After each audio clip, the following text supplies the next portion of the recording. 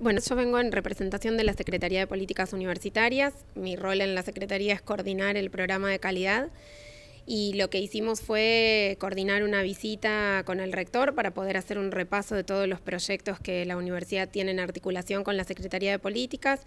Eh, hay algunos ya en ejecución, otros en desarrollo, algunas convocatorias por venir, así que bueno, poder... Eh, digamos, de alguna manera, como comentaba recién, eh, no solo ver los proyectos en papel, sino tomar contacto con quienes los desarrollan, con los alumnos, con las autoridades y bueno, recorrer un poco la universidad. Bueno, la Secretaría, como Secretaría de Políticas Universitarias, define líneas prioritarias en relación a, las disciplinas y a las carreras en función de, las necesidades, digo, del desarrollo, va en articulación con las necesidades de desarrollo que va teniendo nuestro país y a través del programa lo que se hace es financiar todas aquellas acciones que hagan a la mejora de la calidad en las carreras de grado. Entiéndase, digo, para simplificarlo, desde mejorar una infraestructura, comprar equipamiento, capacitar a los docentes, eh, generar becas o, estímulos para los alumnos, o sea, todo aquello que aporte a, un mejor desarrollo de las carreras de grado. Nuestra presidenta anunció el Plan Estratégico de Formación de Ingenieros.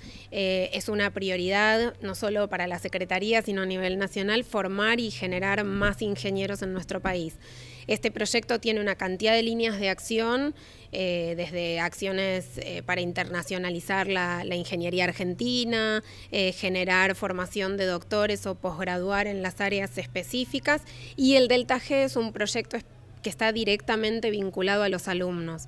Es un estímulo que se genera para que aquellos alumnos que por distintos motivos, básicamente económicos o porque tuvieron que dejar la carrera para poder trabajar, pero están muy avanzados en su carrera, puedan finalizarla. Tienen que presentar a sus universidades un proyecto, un plan de trabajo, digamos, para terminar esa carrera durante un año y una vez que se gradúan, eh, la Secretaría les da un estímulo de 25 mil pesos que en realidad, digo, es a los efectos de poder generar, digamos, un, objetivo de llegada. Eh, muchos de los chicos o, los chicos a los que apunta este proyecto son, como decía recién, aquellos que están trabajando y, bueno, y por distintos motivos eh, fueron demorando su carrera. Para nosotros es importante, digo, para nosotros como, como Estado, no para nosotros eh, desde el programa, sino como Estado, que esos chicos puedan culminar su carrera y se inserten en el, en el ámbito laboral como ingenieros, no como gente con, con una formación avanzada pero sin el título.